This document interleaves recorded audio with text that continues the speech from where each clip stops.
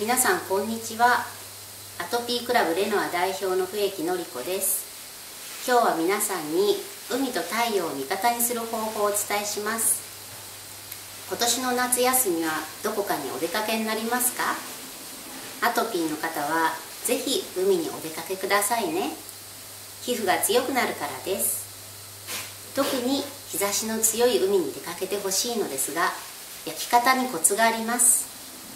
皮膚はしっかり焼いていい場所とそうでない場所があります。紫外線の防止をきちんとしてアトピーが出ているところをしっかり焼いてくださいね。